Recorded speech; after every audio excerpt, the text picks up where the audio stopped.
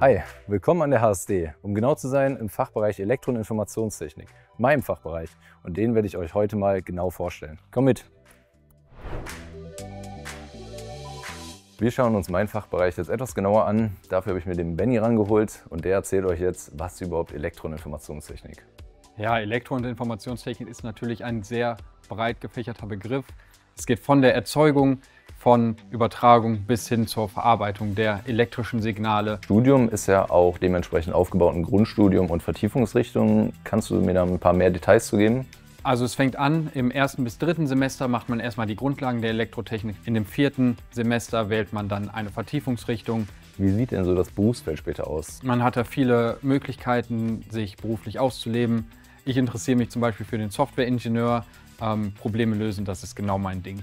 Dann Benny, vielen Dank für die Infos.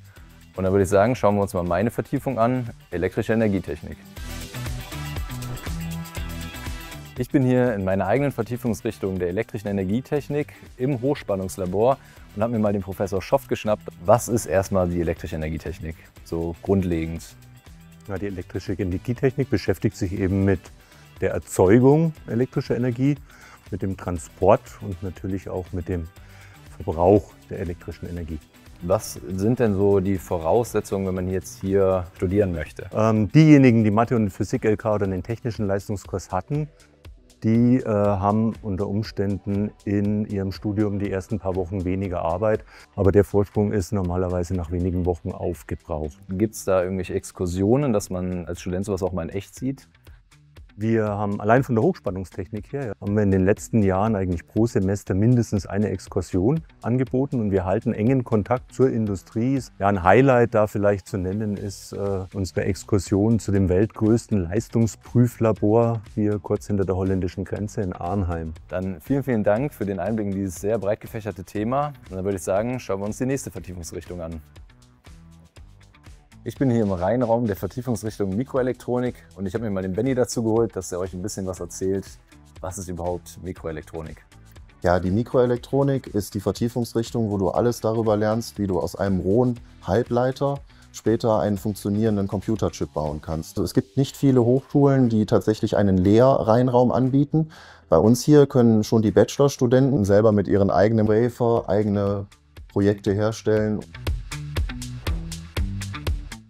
Hört sich auf jeden Fall schon mal sehr zukunftssicher an. Wie sieht es dann später mit dem Job aus? Dann kann man eigentlich bei jedem Elektronikunternehmen anfangen. Man kann aber auch mit der speziellen Ausbildung, die man hier im Rheinraum erlebt, dann später bei den großen Halbleiterherstellern anfangen. Ja, das hört sich schon sehr spannend an. Und ich würde sagen, wir schauen uns mal die Vertiefungsrichtung Mechatronik und Automatisierungstechnik an. Ich bin hier in der FAB 21, einem der Labore der Vertiefungsrichtung Automatisierung und Mechatronik Dafür habe ich den Marvin jetzt einmal hier, dass er mir mal erzählt, was man hier überhaupt lernt. Genau, also in der Vertiefungsrichtung Automatisierung lernt man auf jeden Fall den Umgang mit äh, automatisierten Prozessen sowie die Steuerung und Regelung automatisierter Abläufe. Ich sehe hier viele Roboter, Sensoren. Da ist doch künstliche Intelligenz bestimmt ein Riesenthema, oder? Ja, auf jeden Fall. Also künstliche Intelligenz spielt auf jeden Fall eine große Rolle. Thema Bildverarbeitung auf jeden Fall ein sehr wichtiger Aspekt, sowie die äh, Sicherheit. Dann vielen Dank für den Einblick in deine Vertiefung und dieses wirklich komplexe Labor. Wenn ihr euch für Technik und Wirtschaft interessiert, dann habe ich da den richtigen Studiengang für euch. Und das ist der Studiengang Wirtschaftsingenieurwesen. Dafür habe ich mir einmal den Nico rangeholt, der kann euch dazu nämlich mehr erzählen. Nico, was ist denn so der große Unterschied zwischen klassischer Elektrotechnik und Wirtschaftsingenieurwesen? Beim Wirtschaftsingenieurswesen wird vor allem die Grundlagen von hier in dem Fall Elektrotechnik sowie die Grundlagen von der Wirtschaft zusammen kombiniert. Und was würdest du sagen, macht das Studium hier an der HSD so besonders? Vor allem der enge Kontakt mit Dozierenden und die Möglichkeit, sich bereits früh im Studium für sämtliche Gremien oder wie hier das Rennauto-Team E-Tracks einzubringen. Ja, vielen Dank Nico für den Einblick in dein spannendes Studium. Wir hatten heute sehr spannende Einblicke in meinen Fachbereich und wenn du jetzt Interesse hast, auch in meinem Fachbereich zu studieren, dann schau auf unserer Website, da findest du alle Infos, die du brauchst.